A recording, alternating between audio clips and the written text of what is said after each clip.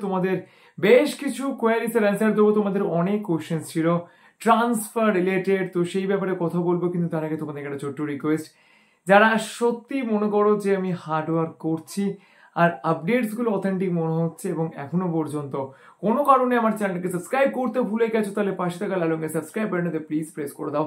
কারণ সবসময় এটা বলি, তোমরা সাবস্ক্রাইব করলেই কিন্তু আরও ভালো ভিডিও কোনো মোটিভেশন পাওয়া যায়।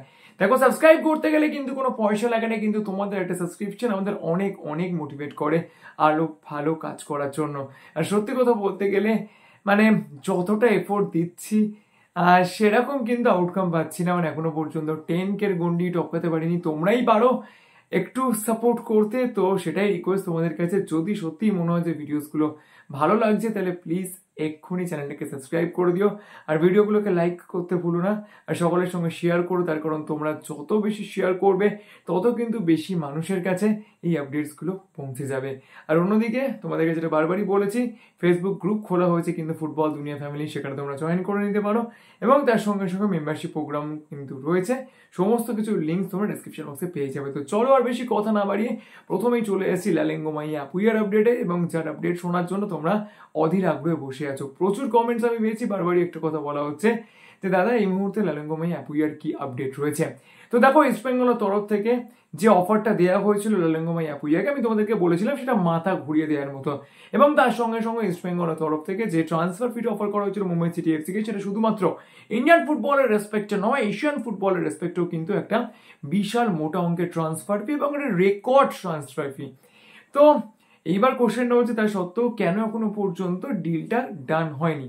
তো সেই ব্যাপারে আমি তোমাদেরকে বলেছিলাম যে অ্যাপুইয়া ফোর ইয়ার্সের একটি ডিল চাইছেন, সেটা ইস্ট বেঙ্গলের তরফ থেকে থ্রি ইয়ার্সের ডিল অফার করা হয়েছিল। কিন্তু এই মুহূর্তে যেটা latest update three plus one অর্থাৎ একটা ফোর ইয়ার্সের প্যাকেজ এবং থ্রি ইয়ার্সের পারফরমেন্স দেখে তারপর ফোর ইয়ার্সের কন্ট্রাক্ট এক্সটেন্ড করা হবে কিনা সেই ব্যাপারটা ভাবনা চিন্তা করা হবে। কিন্তু এখানে যেটা ব্যাপার হচ্ছে, মুম্বাই সিটি এফসির অ্যাপুইয়ার সঙ্গে যে কন্ট্রাক্টটা করেছিল, সেখানে বেশ কিছু রিলিজ প্রসেস রয়েছে। এবং সেখানে কিন্তু বেশ কিছু টার্মস অ্যান্ড কন্ডিশনস রয়েছে, যদি মুম্বাই সিটি এফসি অ্যাপুইয়াকে ছেড়ে দেয়, তাহলে কত টাকা তাদেরকে ট্রান্সফার ফি এবং অন্যান্য ফি বাবদ দিতে হবে? তো দেখো, তোমাদেরকে বলে রাখছি, মুম্বাই সিটি এফসি কিন্তু একটা ইন্টেন্স ফাইন্ড করেছিল তৎকালীন এটিকে মোহনবাগানের সঙ্গে অ্যাপুইয়াকে সাইন করানোর জন্য নর্থ ইস্ট ইউনাইটেড এফসির থেকে। তো সেরকম একজন ফুটবলারকে তারা যে খুব ইজিলি রিলিজ করে দেবে, এরকমটা কিন্তু নয়। কিন্তু যারা যারা আমার আপডেটের ওপর ভরসা করো, আমাকে ট্রাস্ট করো, তাদেরকে আমি বলতে পারি ইস্ট বেঙ্গলের জন্য কিন্তু Apuia still is still on যে ডিলসগুলো হবে না, সেগুলো আমি প্রথমেই তোমাদেরকে বলে দিই এবং সেই জন্য কিন্তু যথেষ্ট গালাগালিও খেতে হয়। কিন্তু এক্ষেত্রে আমি তোমাদেরকে বলতে পারি Apuia's deal is still on for East Bengal East Bengal কিন্তু কিপ পুশিং হার্ড ভীষণ চেষ্টা করছে এবং এখানে কিন্তু আরেকটা কনসেপ্ট রয়েছে যে অ্যাপুইয়া যেহেতু ইউনিভার্সিটির এক্সাম রয়েছে, সেই জন্য তিনি এখনও কোনো ডিসিশন নিচ্ছেন না। ব্যাপারটা কিন্তু এরকম একদমই নয়। এটা কিন্তু কখনো ভাবার দরকার নেই যে ইস্ট বেঙ্গল বা মোহনবাগান সুপার ম্যানেজমেন্টের সঙ্গে অ্যাপুইয়া নিজে এসে কথা বলছে। এটা কিন্তু কখনোই হয় না। প্রফেশনাল ফুটবলাররা কিন্তু কখনোই নিজেরা কথাবার্তা কিছু বলেন না। সব কিছুই কিন্তু তাদের এজেন্ট এবং তাদের যে ক্যাম্প থাকে, তারাই কিন্তু কথাবার্তা বলে। তো অ্যাপুইয়ার এক্সামটা এখানে খুব একটা কোনো বড় ব্যাপার নয়। বড় ব্যাপার হচ্ছে মুম্বাই সিটি এফসির এক্সিট ক্লসেসগুলো তো সেইগুলো নিয়ে কিন্তু ইস্ট বেঙ্গল ভাবছে। এবং আমি তোমাদেরকে এটাও বলে রাখছি, মুম্বাই সিটি এফসির এমনও কিছু এক্সিট ক্লস রয়েছে। যদি অ্যাপুইয়াকে নিয়ে ইস্ট বেঙ্গল কোনো টুর্নামেন্টে চ্যাম্পিয়ন হয়, তো সেক্ষেত্রে তাদের কিন্তু একটা টাকা দিতে হবে। তোমরা জানোই যে জুট বেলিংহাম তাকে যখন বুরুশিয়া ডটমুন থেকে রিয়েল মাদ্রিদ সাইন করায়, সেখানে কিন্তু একটা ক্লজ ছিল যদি রিয়েল মাদ্রিদ বেলিংহামকে নিয়ে ইউরোপার চ্যাম্পিয়ন্স লিগে তারা উইনার হয় তাহলে কিন্তু বুরুশিয়া ডটমুন্ডকে তারা একটা টাকা দেবে এবং সেইটা অদ্ভুতভাবে হয়তো তোমরা অনেকেই জানো না। যদি বুরুশিয়া ডটমুন্ড ইউরোপের চ্যাম্পিয়ন্স লিগে উইনার হয় তারা যে টাকাটা পাবে, তার থেকেও কিন্তু বেশি বোনাস তারা রিয়েল মাদ্রিদের থেকে পাবে যদি তারা ফাইনালটা হেরে যায়। তার কারণ জুট বেলিংহামের কন্ট্রাক্টে ঠিক সেরকম ক্লজেরই উল্লেখ ছিল।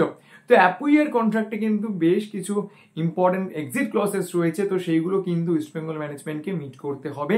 কিন্তু এইটুকু তোমাদেরকে বলতে পারি অ্যাপুইয়ার আসার যথেষ্ট পসিবিলিটি আছে।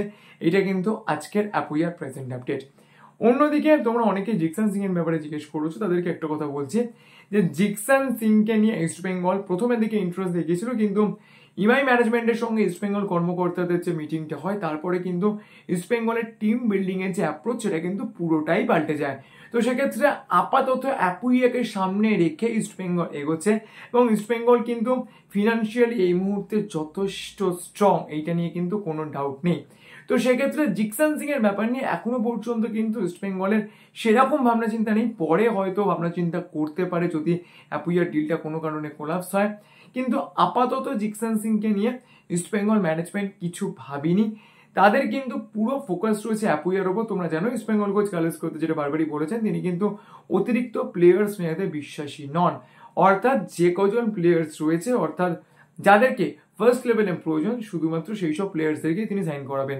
তো সেক্ষেত্রে যদি অ্যাপুইয়াকে পেয়ে যান, তো অ্যাপুইয়ার পজিশনে আরও একজন প্লেয়ার জিকসান সিংকে সাইন করিয়ে, তার কিন্তু জায়গাটা বেঞ্চে কখনোই পারমানেন্ট করবেন না। ইস্টবেঙ্গল কোচ কার্লোস কোয়াজা তার কারণ ইস্টবেঙ্গল অলরেডি সবি চক্রবর্তী রয়েছেন এবং তার আগের সিজনের পারফরমেন্স কিন্তু যথেষ্ট ভালো। তো সেক্ষেত্রে অ্যাপুইয়াকে যদি পাওয়া যায়, তাহলে কিন্তু অন্য কোনো ইন্ডিয়ান ডিফেন্সিভ মিডফিল্ডারের দিকে ইস্টবেঙ্গলে যাওয়ার সেরকম কোনো পসিবিলিটি নেই। অন্যদিকে তোমাদের একটা কোশ্চেন সেটা হচ্ছে মিলনস ড্রিনচিচ কেরালা ওয়েস্টার্সের আরও একজন মন্টেনেগ্রিয়ান স্টপার তিনি কি ইস্ট বেঙ্গলে সাইন করেছেন? কদিন আগে এটা আমিও দেখেছিলাম টুইটারেও দেখেছিলাম আর উইকিপিডিয়াতেও দেখেছিলাম যে মিলন ড্রিনচিচের ব্যাপারে বলা হয়েছিল, তিনি নাকি ইস্ট বেঙ্গল সাইন করে দিয়েছেন।